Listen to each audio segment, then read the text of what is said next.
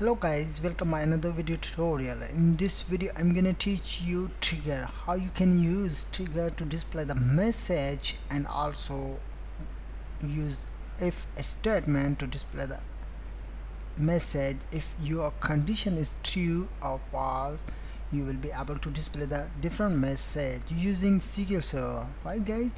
So we need to make a table then you will be able to use trigger. Right guys so I have made the table with the name of employees data.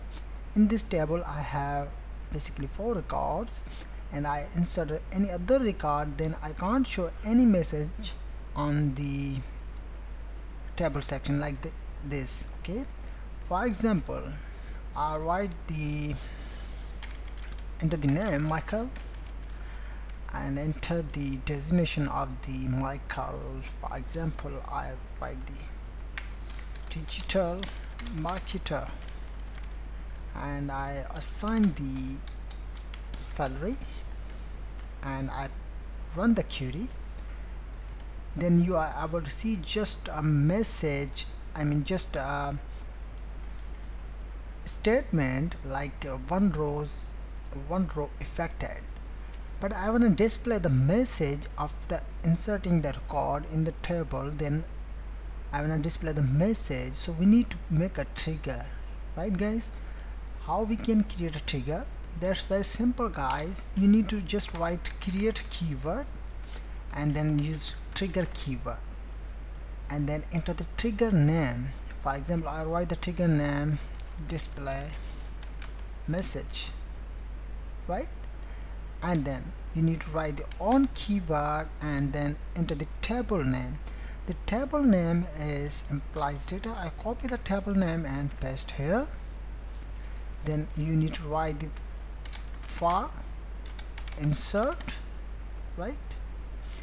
And then use as begin and between begin and end you will be able to use the message as you want to display on the screen after inserting the record then you will be able to display the message. So I write just print single commas and I write your record has been saved in the database right? Then I use query and run the query. Command completed successfully then I insert the record in the table. Then we will be able to see this message. Okay so I select the query to display the record. We have five records okay? So I want to insert another record in the employee data table. For example I write the name of the person. Mm, alright the name of the person. Chips okay. And I assign the basically designation. Programmer. And I use the query select the query and click to execute button. Then you are able to see your record has been saved in the database. The message has appeared with the help of trigger right? Without trigger you can't see this message or this text right guys? Now another thing you will be able to use trigger to check the condition okay? For example I select the query to display the record. In this table I have six record right? But I wanna use condition then I mean check the condition.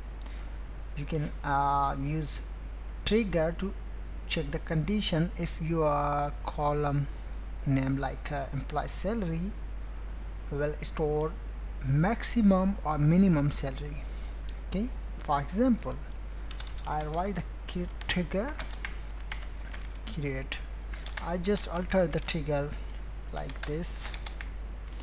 I copy the trigger. And I just change the keyword alter trigger and then I use as after the as I use if statement. And parentheses in this parenthesis I use select keyword. Then I'm gonna use condition the column name employees salary. So I use employee salary right? This is a column name.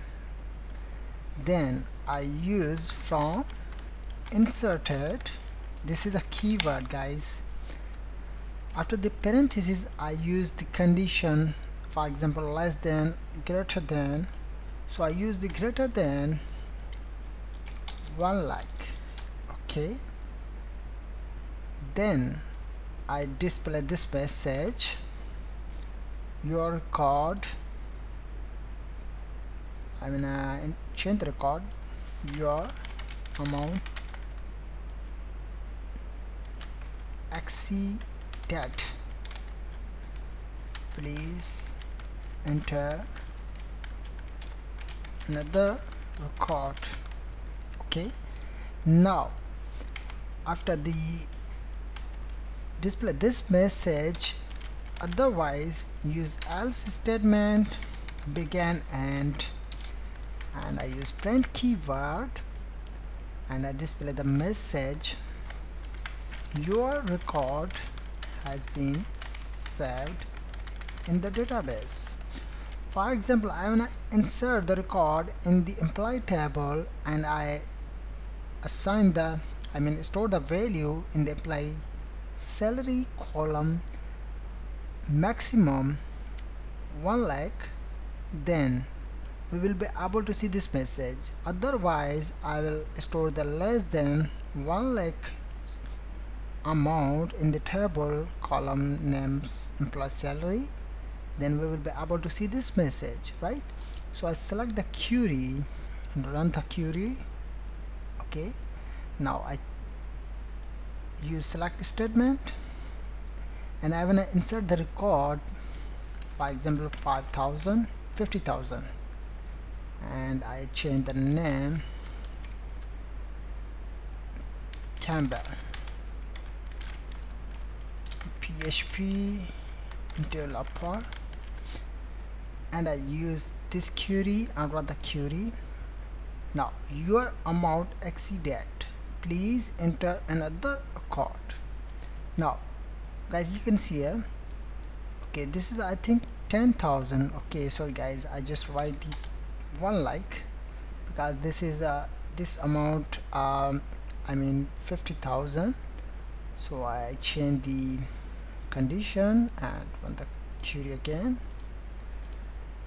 Now I change the name voila. And I use same statement and on the query. Your record has been saved. Our condition is false then we will be able to see this message guys. Otherwise I will store the maximum value I mean 1 lakh then we will be able to see this message. For example I use the 1 lakh uh, Laura I enter the name Semi run the query. You are caught. Okay this is the equal of the uh, this record okay but I'm gonna store one lakh 50,000 and change the name of the person Tony and execute the command. Your record has been I mean exceeded. Please enter another record I select the statement and execute then you are able to see whole record available in the database. But I wanna display the message like this then the record will automatically remove. But the employee ID which available the primary key identity it will count. How I can do that? Guys just write simple keyword rollback transaction. Now if user will store maximum I mean out of the 1 lakh or greater than the 1 lakh amount then user will can't store the data in the database. But I know the user will try to store the record in the database right? How? That's very simple. I use this same statement and execute. Now I use same statement I change the name. I enter the name. Billy. And I select the statement and run the query. Now guys you can see here your amount exceeded. Please enter another record. I select the statement. Execute. I can't show any record available in the database with the name of Billy right? But I change the amount then we will be able to see 11 number will store I mean 11 number will count in the database. Why? Because I have tried one time to store the value in the table out of the condition right? Let's check it. Select and execute. Your record has been saved in the database select that statement and execute. Okay 12 sorry guys. I have tried two time I think. Yeah you can see it. Okay. Now I will try another time. I can't store the data in the database. And I want to display I will display the message on the screen. Then I will count the ID automatically. Okay. Select and execute okay your amount exceeded. Please enter another record. Okay I change the amount and select query execute. Your record has been saved in the database. I select the select statement and execute. Now guys 14 two time counts. Okay. Okay guys so I hope you are understood as well. Thank you very much for watching. Okay now another thing for example I wanna drop the trigger I wanna delete the trigger. How I can do that? Just write the drop keyword trigger and enter the trigger name or write the trigger name display message. Okay?